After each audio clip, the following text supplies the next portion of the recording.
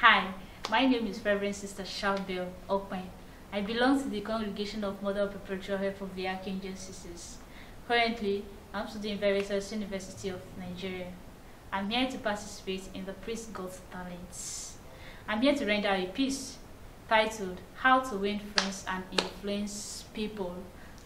Cooperativeness in conversation is important when we consider other person's idea and feelings as important as our own. By so doing, you win people's way of thinking, your influence, your ability, your prestige to get things done in your own way.